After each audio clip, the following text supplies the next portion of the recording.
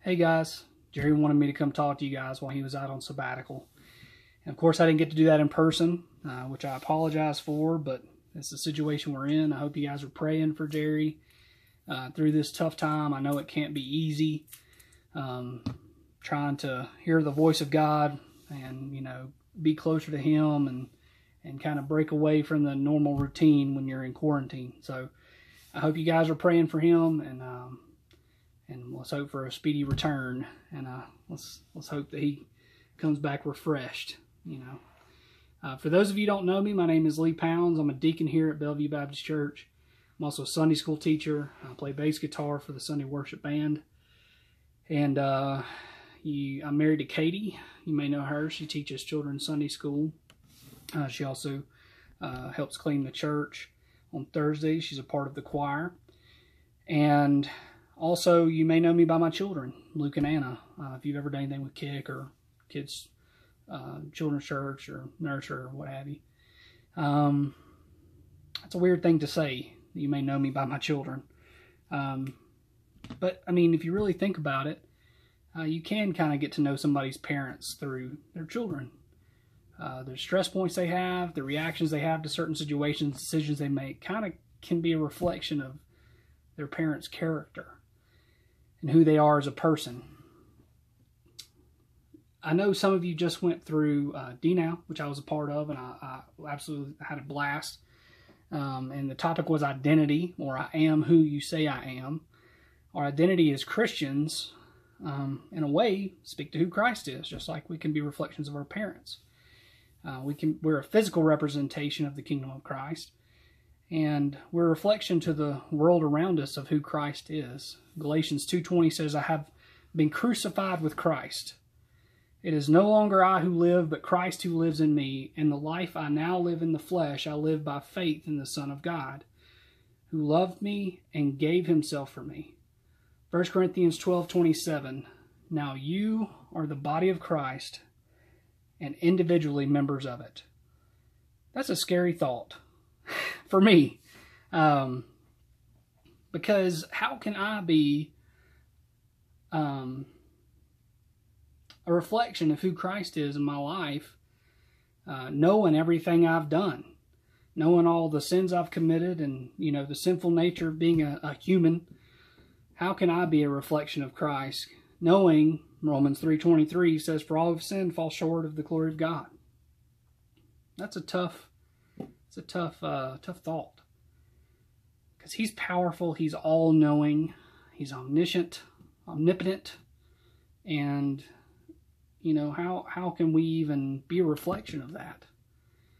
Um, but I think the easiest way, for me anyway, to be a reflection of that is telling people about God's forgiveness in my life, the grace that He's extended to us. See, the, God gave us the law to show us how sinful we are, and that through the grace of Jesus, we're forgiven. We have an opportunity in our lives to show God's love and forgiveness to those around us. And it took me entirely too long to understand what real forgiveness really was. I knew that God had forgiven me, but I wasn't sure how I could forgive.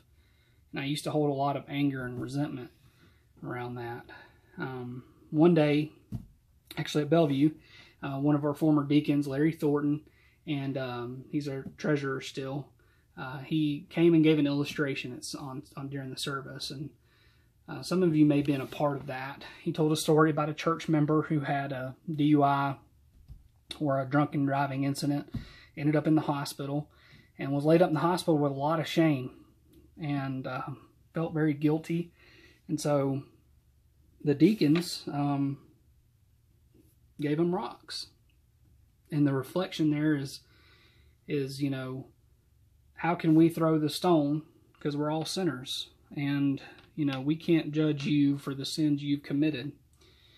And that was a pretty powerful story he had there. And he uh, had this basket of rocks, and, and they were unique rocks for sure little black smooth stones and he uh, he passed one out to everybody he said take this home and put on your mantle to remind you you know of of christ's forgiveness in your life and and for you to extend that forgiveness to others And I thought, well, that sounds fun. Another decoration for the mantle. Um, you know, I was touched by the story and took the rock home and put it up on my mantle. And so, you know, it was there. That's where it resided. Um, but most of y'all don't know my story. Um, I would venture to say a lot of you don't know my story, so I'll share a piece of it. Um, I was born in Columbus, Georgia. My parents divorced when I was three years old. My father retained parental rights, which, you know, he had primary custody. Uh, my mother moved to Maryland uh, with her second husband at, after that.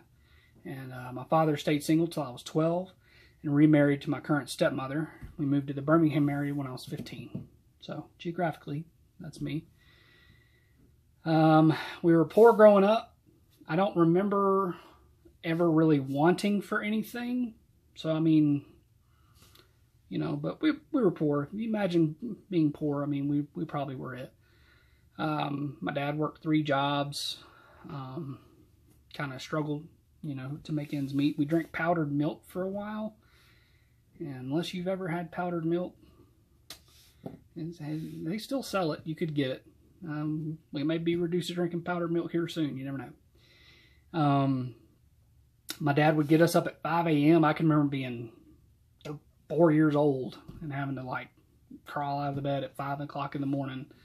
Um, and even in kindergarten or whatever to leave for school drop off, he would drop us off at my aunt's house every morning when he would go start his first job. And uh, we would pray for 1982 Ford Thunderbird every morning, just hoping it would start. Uh, it smoked so much. True story. Lady in a donut shop came running out to see if the car was on fire. it was it was a rough vehicle. Um, but the only thing that I think from my childhood that I say that I feel like I kind of missed growing up would be a mother figure. Um, I always had my Aunt Rita, which is my dad's sister who I love dearly, and uh, she kept us every day while my dad was at work. Um, she was about as close to a mother figure as you could get, uh, but it wasn't the same, you know, for me anyway, just because my mother still kind of came around um, from time to time, and so that kind of inserted like, hey, something's off here, you know, and I couldn't like just really move past it or move on or whatever. Um, and uh, then my dad got remarried when I was 12 to my stepmother.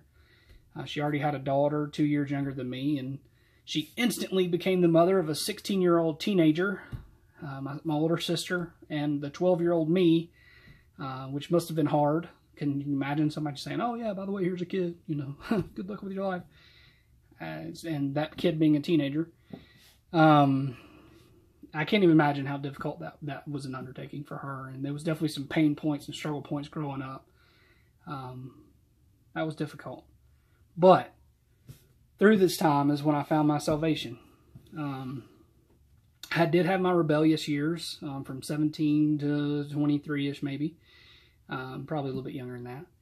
And I was worse than hopefully some of you will ever be. Uh, drinking, partying. Um, I had my, my labret pierced.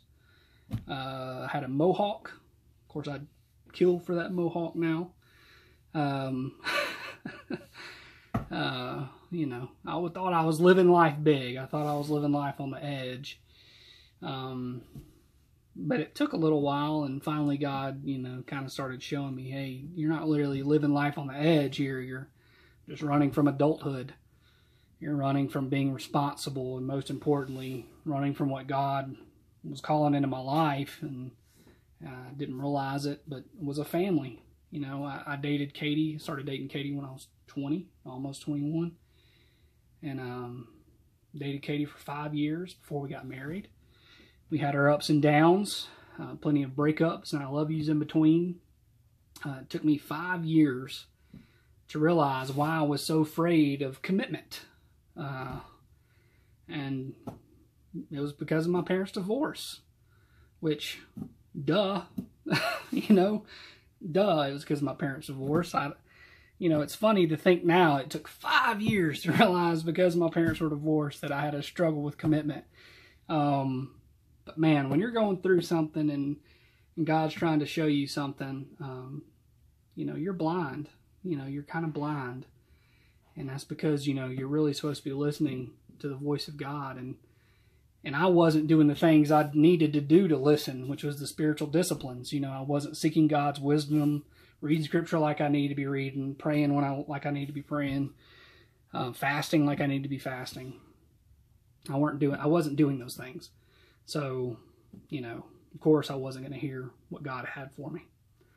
But when we got married, I had a very strong belief uh, that divorce was not an option for me. I still have that belief. Um, and I don't think it will be, even to my own demise. Um, Miss Dakota, Jason's wife, uh, she has an Enneagram web page. She says I'm an Enneagram 6.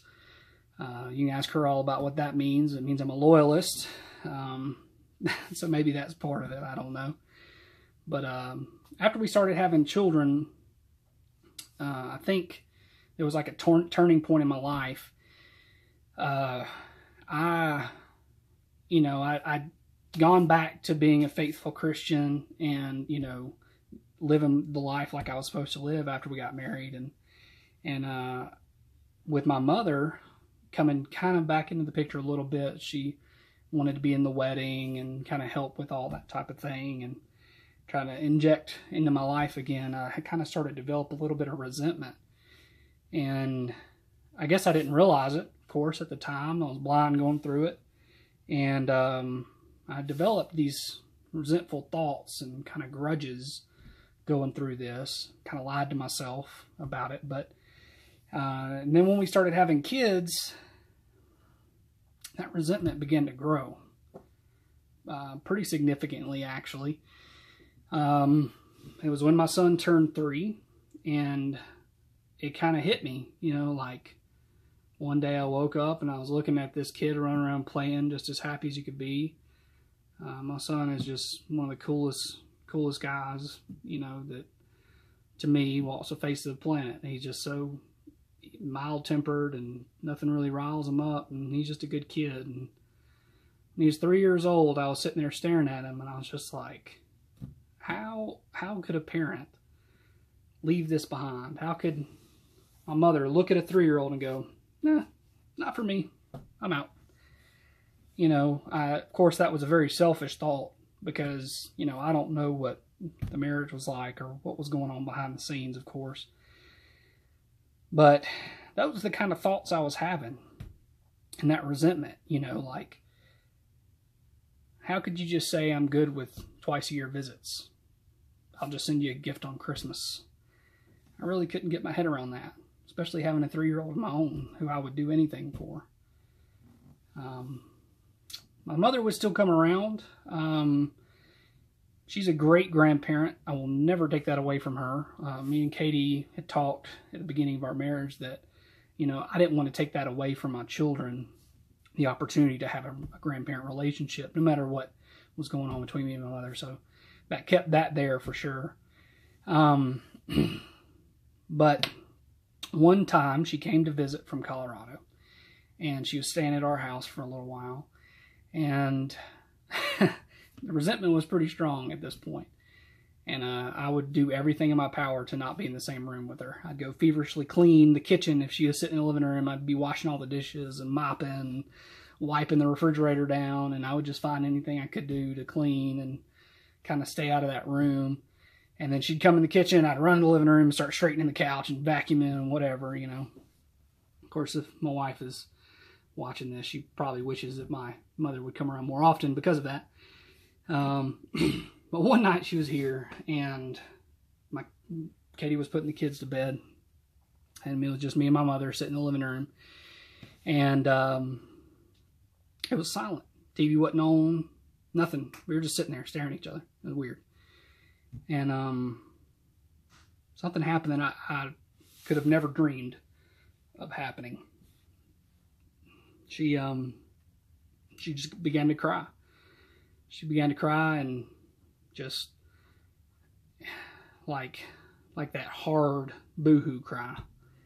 And i didn't know what to do. I was just you know taken back by what was happening you know uh, seeing an emotion that i've never really seen before from her and um, She began to beg for my forgiveness, and I mean like beg, like grovel, um, apologizing profusely for the things that she's done and things she hasn't done.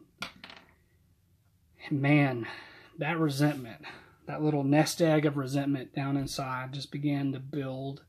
And every thought that I could have in that moment, um, everything that I've ever wanted to say, everything that I resented her for came to the forefront of my mind. And I mean, it was so much you could just, you could taste it. I could taste the resentment. It was so close to coming out of my mouth. And I held all the power in that moment. I held all the power of a future relationship with my mother. I held all the power for her, you know, her own self reflection of the type of person she is. Um, I, it was it was a very weird experience. Um, and I and to be honest with you, I, at the in the moment, I, I really wanted, you know, to cut her down, uh, cut her legs out from under her just as quick as she stood up and could even offer to give that up, uh, asking for forgiveness. I wanted to just slice her down, and um, but man, sitting there, all those awful things on the edge of my tongue. I open my eyes and I see a little smooth black rock on my mantle. And I immediately flash back to the story that Larry had told about forgiveness, how we can't throw the first stone. And I began to imagine all the things that I've done in my life that Christ knows intimately and said, you know what? I'm going to climb up on that cross anyway for you.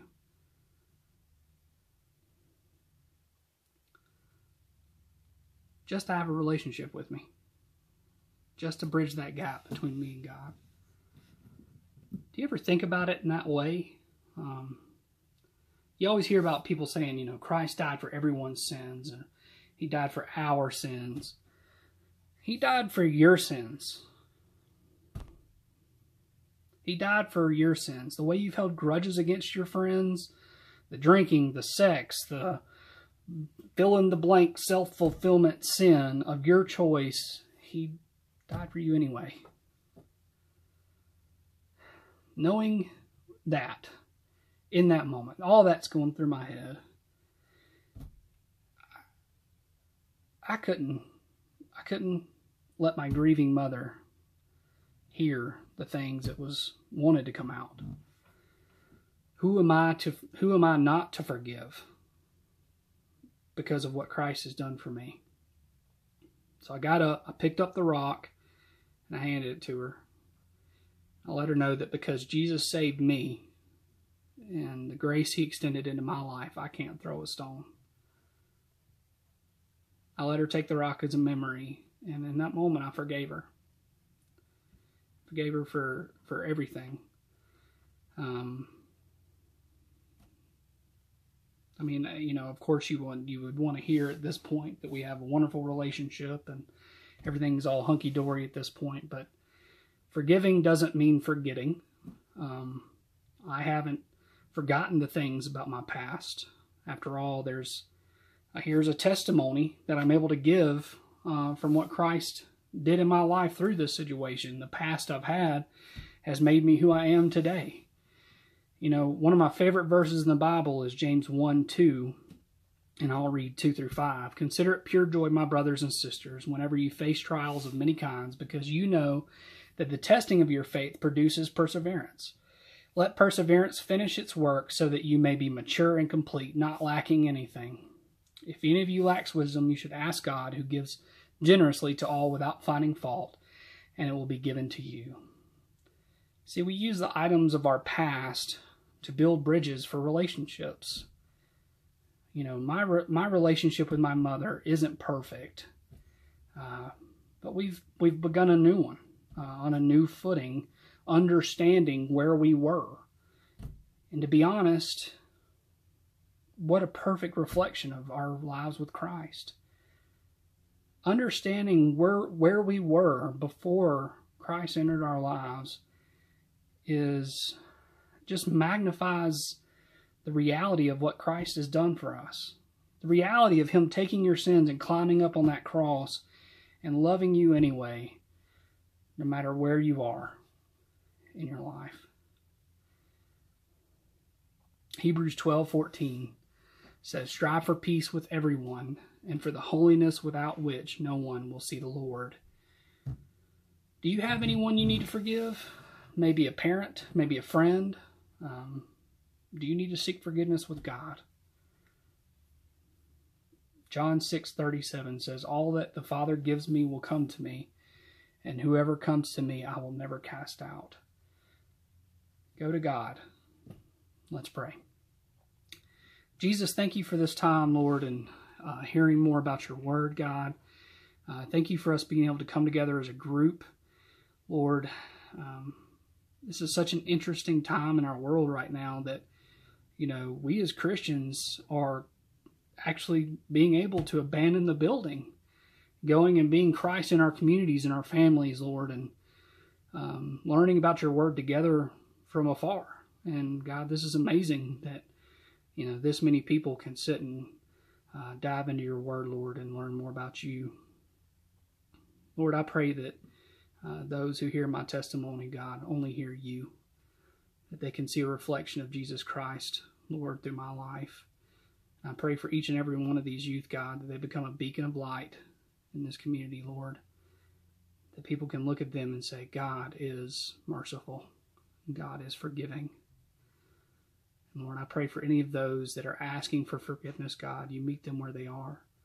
And Lord, for those who don't have salvation, Lord, and trust in you and follow you, God, I pray that you soften their hearts, Lord, to know that they can seek after you for anything and everything, Lord. Pray for these next few weeks, Lord, in this tough time that we're going through, Lord. And we pray for this community, that God, that you keep us healthy and safe. In Jesus' name we pray. Amen. By the way, Super Wednesday, Batman, you're welcome. Y'all have a good one.